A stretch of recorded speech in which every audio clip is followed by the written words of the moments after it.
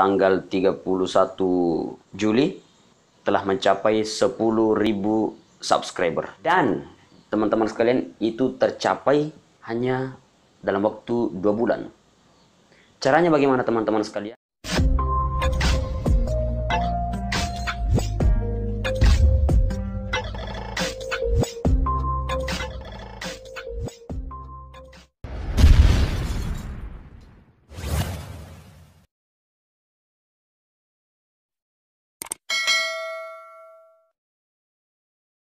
Assalamualaikum warahmatullahi wabarakatuh.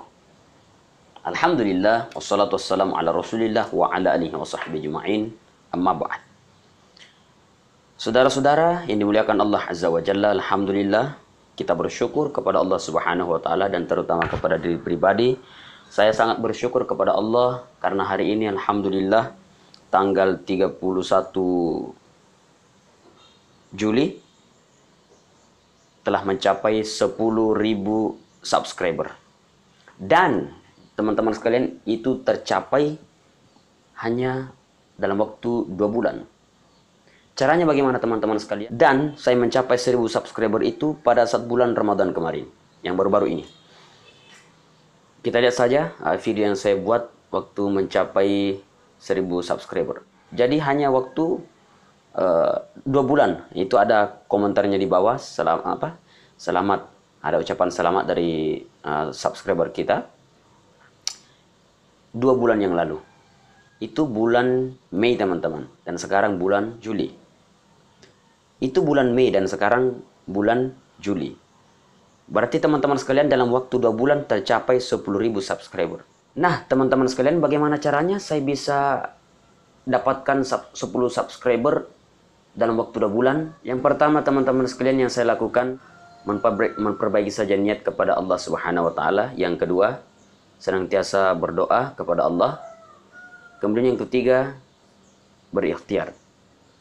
Ada tiga yang perlu kita garis bawah. Yang pertama adalah niat kita. Kita perbaiki niat kita kepada Allah Subhanahu wa taala, kita membuat konten, kita membuat video-video hanya betul-betul mengharapkan ridha Allah. Dan kalaupun itu ada uh, dibayar atau apa, itu bonus dari Allah Subhanahu wa taala. Yang jelas, yang pertama kita perbaiki niat kita. Apa pun yang kita lakukan, tetap kita melakukan segala sesuatu hanya karena Allah Subhanahu wa taala agar apa yang kita lakukan itu bermanfaat kepada manusia dan bernilai ibadah dan mendapatkan pahala dari sisi Allah Subhanahu wa taala. Yang kedua, yang saya lakukan adalah saya senantiasa berdoa.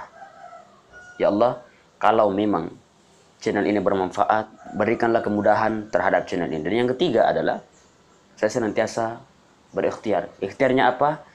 Saya berusaha untuk memberikan video yang terbaik. Walaupun sebenarnya teman-teman sekalian, ya belum apa-apa belum ada apa-apanya video-video saya belum ada apa-apanya dibandingkan dengan teman-teman kita. Dan yang membuktikan itu adalah coba lihat view saya. View saya teman-teman sangat sedikit. Viewernya sangat sedikit ya hanya sampai ratusan. Ratusan bukan ratusan ribu hanya ratusan saja. Ada yang cuman tidak cukup 10 di 10 kali ditonton ada yang cuman lebih 50 tapi teman-teman sekalian kita tidak boleh putus asa.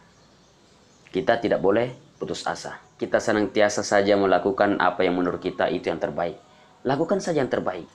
Ketika engkau melakukan yang terbaik maka Allah Subhanahu wa taala akan membalas dengan yang terbaik juga Jangan pernah menyerah teman-teman sekalian. Karena banyak teman-teman kita yang ketika subscribernya tidak mau jalan atau view-nya tidak ada langsung berhenti, stop jadi YouTube. Stop upload video. Jangan teman-teman sekalian. Makanya saya, saya katakan pertama niat kita. Kalau kita niat karena uh, dunia semata, maka ketika kita tidak mencapai apa yang kita inginkan, maka kita akan putus asa teman-teman. Tapi kalau kita mengharap ridho Allah, kita melakukan segala sesuatu karena Allah Subhanahu wa taala, maka kita akan tidak mudah untuk putus asa. Bagaimanapun keadaan video teman-teman silahkan upload. Yang penting itu adalah karya teman-teman sendiri. Tuhan tidak pernah tidur. Tuhan tidak pernah tuli. Dan Tuhan tidak buta. Allah tahu apa yang kita lakukan. Allah mendengar apa yang kita pinta. Dan Allah melihat apa yang kita usahakan. Dan setiap usaha yang kita lakukan, setiap doa yang kita panjatkan kepada Allah tidak akan pernah disia-siakan oleh Allah Subhanahu wa taala. Akan ada saatnya ijab, doa itu akan diijabah. Akan ada saatnya usaha kita akan membuahkan hasil. Hanya butuh waktu saja teman-teman sekalian. Dan ketika kita tidak melakukan karena Allah, kita akan berhenti di tengah jalan. Dan itu sangat tidak baik di sisi Allah. Itu dibenci Allah. Allah tidak suka dengan orang-orang yang suka berputus asa, yang mudah putus asa. Kata Allah, la tak la la tayasu min rahillah. Jangan engkau berputus asa terhadap rahmat Allah. Rahmat Allah begitu luas. Maka saudara-saudaraku saya pesankan yang pertama perbaiki niat, yang kedua senantiasa berdoa kepada Allah Allah Subhanahu wa taala. Yang ketiga, senantiasa kita berusaha perbaiki sebaik-baik mungkin ya. Walaupun saya juga belum apa-apa dengan video saya, tapi yang penting teman-teman, saya sudah berusaha sebaik mungkin memberikan yang terbaik. Usahakan teman-teman buatlah video yang terbaik. Dan usahakan itu video teman-teman sendiri. Saya sangat menyesal teman-teman sekalian. Kemarin saya upload video orang. Dan itu menjadi pelajaran bagi saya. Dan resikonya akan tetap ada. YouTube tahu bahwa Anda upload video orang lain. Dan YouTube menilai itu bahwa itu bukan karya Anda, dan YouTube menilai bahwa Anda tidak pantas menjadi seorang kreator. Dan bagaimanapun hasilnya teman-teman kalau itu karya kita sendiri, itu akan sangat membahagiakan bagi diri kita. Kita akan bangga terhadap diri kita bahwa kita bisa melakukan sesuatu walaupun kecil terhadap orang lain. Baik teman-temanku sekalian, saya tidak berlama-lama untuk uh, membicarakan tentang ini. Saya hanya bersyukur kepada Allah Subhanahu wa taala dan sangat berterima kasih kepada teman-teman sekalian, saudara-saudaraku di mana pun berada yang sudah support channel ini, yang sudah subscribe channel ini. Dan itu suatu, suatu pertanda bahwa teman-teman mendukung saya, mensupport saya dalam mengembangkan atau uh, terus-menerus membuat video yang insya Allah bermanfaat teman-teman sekalian. Dan jangan pernah menyerah teman-teman untuk mendukung saya. Yang subscribe channel ini, saya tidak tahu dari mana antum semua apakah entahkah dari Jakarta, entahkah dari Surabaya, dari Jawa, mana pun. Saya tidak tahu teman-teman, antum dari mana semua. Begitulah kehidupan. Terkadang kita dipertemukan oleh Allah seseorang atau orang lain yang orang itu tidak kita kenal tapi memberikan manfaat kepada kita. Begitulah kehidupan. Dan terkadang ada orang yang kita kenal, orang dekat dengan kita, tapi yang mereka berikan bukan manfaat. Mereka hanya memberikan mudarat terhadap diri kita. Maka saudara-saudaraku, syukuran kathir. Terima kasih banyak. Ini suatu kesyukuran yang luar biasa. Dan saudara-saudaraku semua, yang paling saya ingin sampaikan di sini adalah ternyata benar firman Allah Subhanahu wa taala di dalam Al-Qur'an. Dan itu akan saya bacakan untuk teman-teman sekalian. Semoga semangat juang teman-teman semakin besar dan tidak menyerah, tidak mudah menyerah apabila ada niat untuk menjadi seorang YouTuber. Adalah sesuatunya bisa mudah karena ada izin dari Allah Azza wa Jalla. Baik, saya akan bacakan surah Asyar dan kita akan memahami bersama, mempelajari bersama makna yang terkandung di dalam surah Asyar ini. أعوذ بالله من الشيطان الرجيم بسم الله الرحمن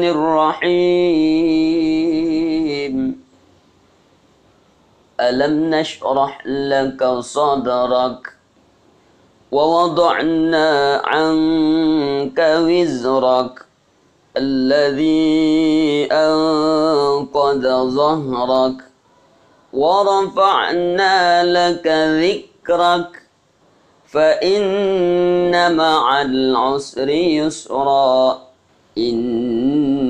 مع العسر يسرا فإذا فرغت فانصب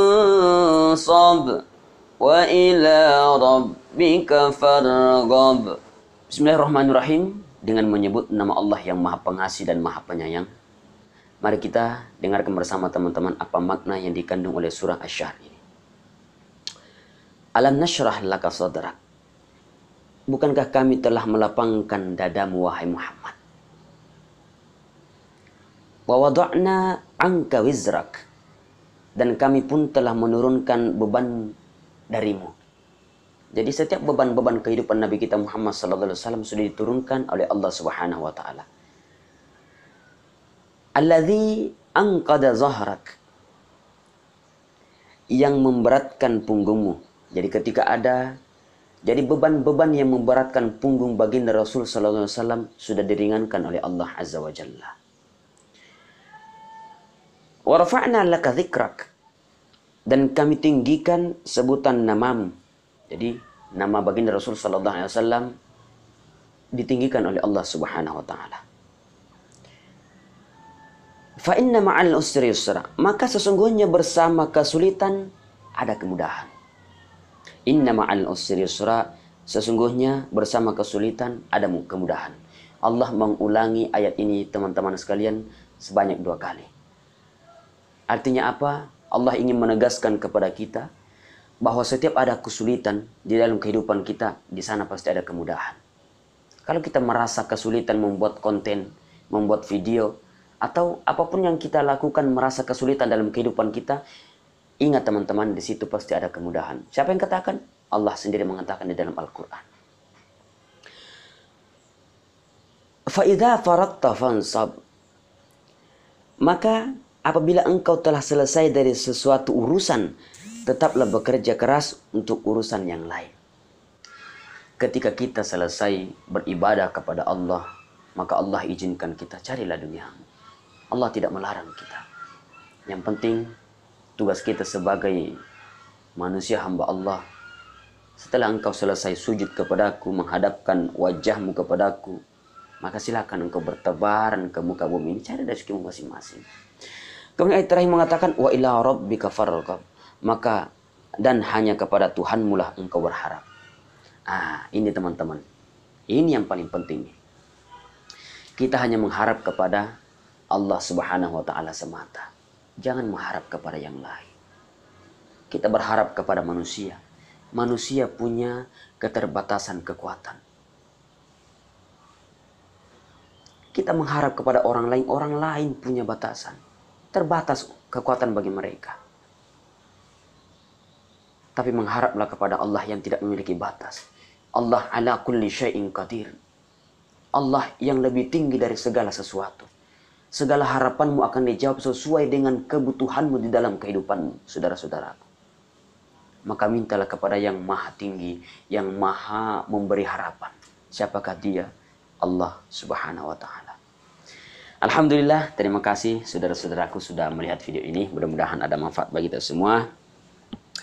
Mudah-mudahan segala aktivitas kita dirahmati oleh Allah Subhanahu wa taala, kita dimudahkan yang punya keinginan menjadi youtuber, mudah-mudahan dimudahkan oleh Allah Subhanahu wa taala. Dan yang sudah menjadi seorang youtuber pemula seperti saya dan subscribernya belum mencapai 1000 atau jam tayangnya belum mencapai uh, eh, 4000 jam tayang atau bahkan view-nya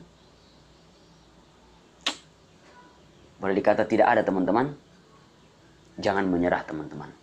Ingat firman Allah di balik kesulitan. Di situ pasti ada kemudahan Ketika engkau merasa kesulitan membuat video-video yang bermanfaat, maka di situ pasti Allah akan berikan jalan kemudahan. Yang penting dengan syarat kita selalu berikhtiar, berusaha melakukan yang terbaik di dalam kehidupan kita. Dan yang terakhir kuncinya adalah mengharaplah hanya kepada Allah Subhanahu wa taala semata. Jangan mengharap kepada yang lain. Mengharap kepada manusia, mengharap kepada makhluk, harapanmu akan kecewa mengharap kepada yang lain selain daripada Allah Subhanahu wa taala, maka engkau akan kehilangan harapan. Tapi mengharap kepada Allah Subhanahu wa taala, maka harapanmu akan terwujud. Dan mengharap kepada Sang Maha Pemberi harapan, maka harapan itu akan dinilai oleh Allah Subhanahu wa taala dan insya Allah ada saatnya harapan itu akan diberikan oleh Allah Subhanahu wa taala. Saya pamit undur diri, mohon maaf atas segala kekurangan dan kesalahan dalam video ini. Wabillahi taufiq Wassalamualaikum warahmatullahi wabarakatuh.